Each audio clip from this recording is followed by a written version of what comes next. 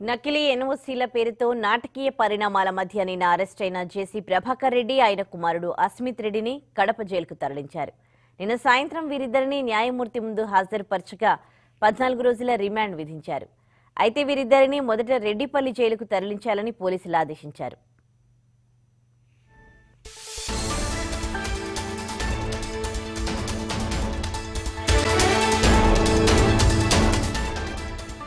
అయితే రెడ్డిపల్లి జైల్లో ఓ ఖైదీకి కరోనా అనుమానిత లక్షణాలు వెలుగు చూడడంతో వారిద్దరికీ అనుమతి ఇవ్వలేదు.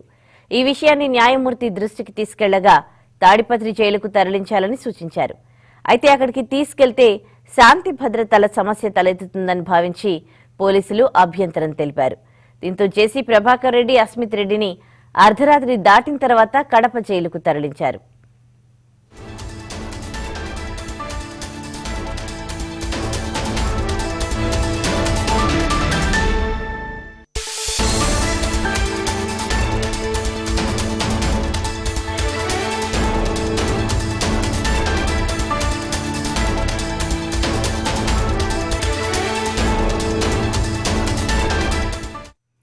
ఇదే అంశానికి సంబంధించి మరింత సమాచారం మా ప్రతినిధి రమణారెడ్డి ఫోన్లో అందిస్తారు. రమణ కడప జైలుకు తరలించినట్లు తెలుస్తోంది. జేసీని ఆయన కుమారుడు అస్మిత్ని డీటెయిల్స్ ఏంటి? ఉదయశ్రీ ఏదైతే తాడిపత్రి మాజీ ఎమ్మెల్యే ఆయన కుమారుడు అస్మిత్ రెడ్డిని కూడా ఈ తెల్లవారుజామున నాలుగు గంటల పది నిమిషాలకు కడప సెంట్రల్ ప్రిజన్ తరలించినటువంటి పరిస్థితి ఉంది. పూర్తిగా కూడా ఆరు ప్రత్యేక వాహనాలతో దారి వెంబడి ఎటువంటి గందరగోళం కానీ అవాంఛనీయ సంఘటనలు జరగకుండా ఆరు ప్రత్యేకమైన వాహనాలు ప్రత్యేకమైనటువంటి బందోబస్తు నడము కూడా కడప సెంట్రల్ జైల్లోని ఒక ప్రత్యేక బ్యారక్లో కూడా ఇటు అస్మిత్ రెడ్డిని అటు చేసి ఆ ప్రభాకర్ రెడ్డిని గురించినటువంటి పరిస్థితి అయితే నెలకొంది. దాదాపుగా జేసీబీలకు సంబంధించినటువంటి మోటార్ వాహనాలకు సంబంధించినటువంటి అక్రమ రిజిస్ట్రేషన్ అంటూ కూడా ప్రభుత్వం మీద పైన కేసు పెట్టింది.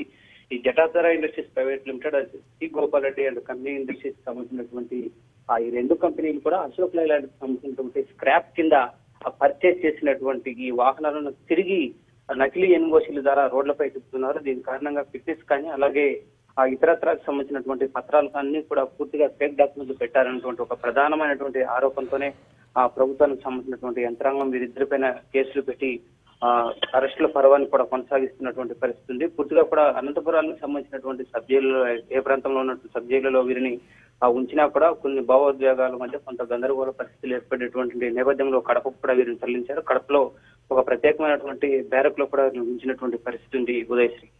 Right thank you Ramana